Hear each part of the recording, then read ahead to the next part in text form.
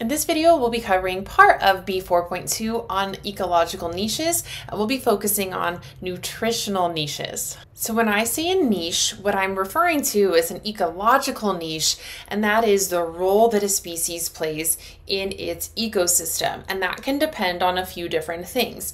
It could depend on what it eats and how it gets its food. It could depend on its zone of tolerance, and that's because the zone of tolerance can determine what kind of habitat it can utilize. And finally, it depends on how it interacts with other species in the ecosystem. So we'll be talking about a few different niches here. I want to go over some keywords that will help you remember these other terms, right? So obligate means like obligation, you have no choice. Facultative refers to kind of like having a choice, or at least that's how I like to think about it. Aerobic means with oxygen, and then anaerobic without oxygen.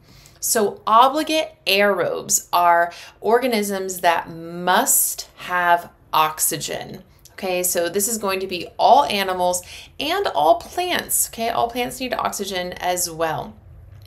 Obligate anaerobes are things that cannot be exposed to oxygen.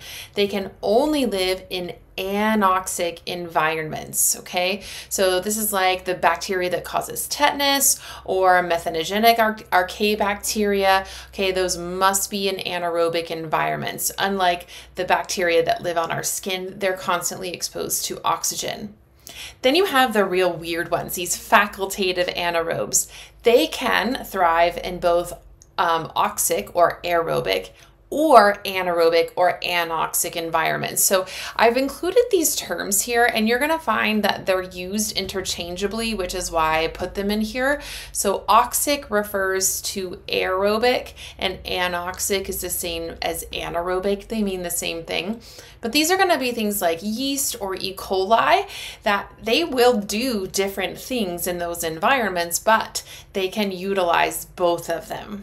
So you'll often hear people from different branches of biology referring to the same organisms by a different name.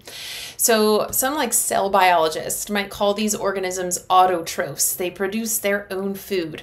And some ecologists might call them primary producers. This is the role that they play in an ecosystem. But these are just names for photosynthetic organisms, okay? So photosynthetic organisms can include things like plants, algae, and even different types of photosynthetic prokaryotes like bacteria. And what they all have in common is this process of photosynthesis, and that is turning light energy or solar energy into chemical energy in the form of things like carbohydrates. Okay, so again, it's not just plants, it also includes algae and some bacteria. Unlike autotrophs that can kind of produce their own food, heterotrophs are organisms that must eat their food. They are consumers, not producers. Now, all animals are heterotrophs, and most of them have what we call holozoic nutrition. Not all of them, but most of them. And that means that whole pieces of food are eaten and are digested internally. So let's say I'm going to eat an apple, okay? I'm going to put that food into my mouth, and then it's going to pass through my gut. And a few different things are going to happen, one of which is digestion, okay? So we have ingestion digestion, which is eating something. Digestion is the chemical breakdown uh, into smaller molecules. Okay, now I'm also going to be able to absorb some of those smaller molecules. So, into my bloodstream, we're going to get absorption of some of these smaller molecules. Not all of them are going to be able to be digested and absorbed, however.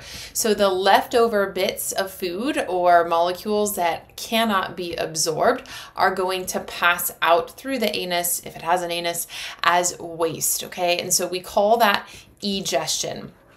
The one word that I haven't touched on yet is assimilation. That, that means becoming part of the cells and tissues. So again, we have ingestion, digestion, absorption, assimilation would mean using that in our cells, and then egestion of any waste that cannot be digested or absorbed.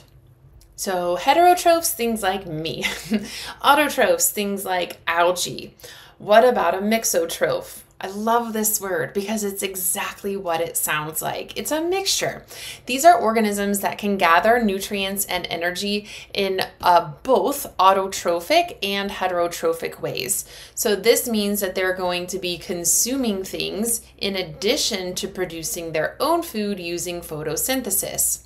Now, we have a couple of different types. We have obligate mixotrophs, that means that they must use both methods.